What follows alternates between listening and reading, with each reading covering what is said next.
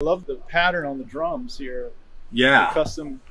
yeah. I had Paint. this. Um, I had my wife ordered this book. It was a first edition called the Les Étoiles. It's by this guy J.J. Grandville, and he did this uh, story on um, fairies in the night sky, and he made these crazy illustrations in the book, and they're kind of loosely represented on the drum kit along with some of the Mellon Collie stuff.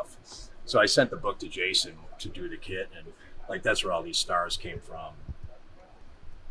I know I put this on Instagram the other day, and it kind of blew up.